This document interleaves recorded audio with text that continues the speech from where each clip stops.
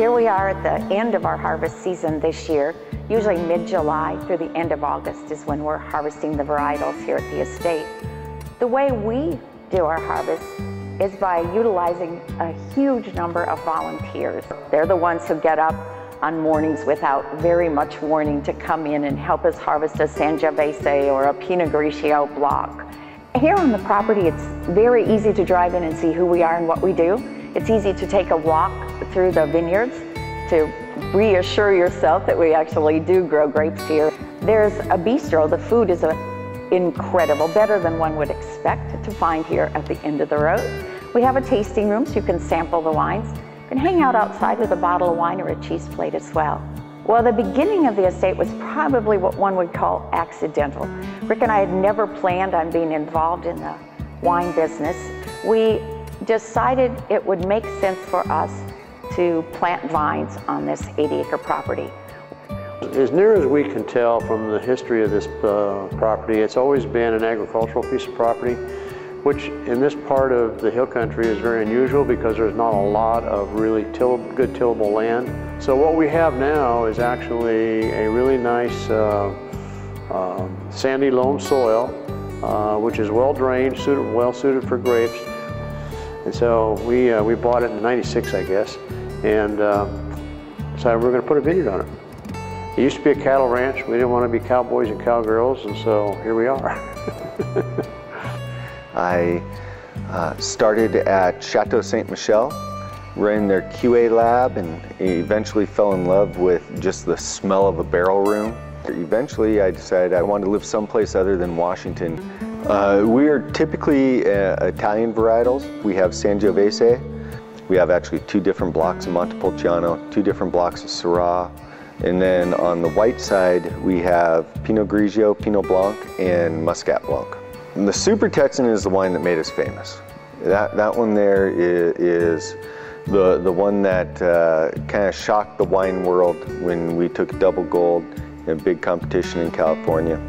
It, it is important to come to the tasting room because there's a lot of small lot uh, wines that we do where it's less than 100 cases. Some things that, that are never going to end up going beyond the doors here. It was several years, probably three to four years. I was sous chef at the Bay Brewery, which is a, a restaurant, uh, fine dining brew pub on Galveston Bay. Then I went to Tony's at, in Houston, um, then uh, several hotels and I worked at uh, ADV's downtown, then a small stint at uh, Thistle Cafe, and then I got my first executive chef job at Vin Bistro on Kerbey Lane in Austin. A friend of mine came to a wine dinner and they talked to the winemaker and he was doing the food and the wine and um, they said, he said, well, we need a chef and I needed a job, so it was a perfect match. When somebody walks up from the tasting room on the limestone steps, what they're going to experience is the, the smell of the oak burning oven. They always ask me, what are you smoking up there? I was like, we're not smoking anything. It's, a, it's our oak oven for, um, mainly we do pizzas and roasted vegetables. And they're like, oh my God, it smells so good. Everybody gets really excited about, what is that? At the Bistro at Flat Creek, we're lucky to be able to serve a very wide array of foods. But the real star of the show is the courses menu. Stuff like pan-seared tenderloin on top of uh, beet risotto. We have uh, a red wine chocolate cake with uh, it's a Moscato raspberry gelée and whipped cream. And the people that come in for this dinner are looking for the paired wine experience because you can have a great dish, you can have a great wine, but a great dish that works together with the wine makes all the difference. The thinking behind the Enoteca getting started over here in Marble Falls was uh, so we could definitely make our uh, brand more known. Uh, and also be closer to the Texas Wine Trail. It's a shorter ride for the buses and everything because where the estate is located at in the vineyard is uh, about 23 miles out east of town. Every week at the Enoteca we host uh, the rustic wine dinners. Um, they start at 7 o'clock sharp and uh, it comes with, it begins with the flights and bites which is just some little hors d'oeuvres with three paired wines. Um, then we uh, go into a, a nice little uh, appetizer, an entree, and then a dessert. You get your choice of a glass of the three wines from the flight. You get your choice of a glass for your entree for dinner. But when you come in the door, we want you to just feel welcome. We don't want you to feel like um, you have to know everything about wine or anything because we're more than happy to guide you along uh, on your decisions to choosing the right wine. And uh, um, we also have just a wonderful staff who's uh, very excited and passionate about the food that they put out in the kitchen. Um, and just uh, the main thing that sets us apart at Flat Creek Estate and also here at the Enoteca um, is the people. Um, we're definitely here for our customers first and foremost. We really lucked out. This has been a great uh, endeavor. Lots of other folks here, a lot of fun, a lot of laughter. Food was outstanding. We'll go home and tell everyone about this. This was a this was just a great experience that we sort of, like Kevin said, lucked into. So, um, yeah, I'm so glad we were able to make a reservation and come today.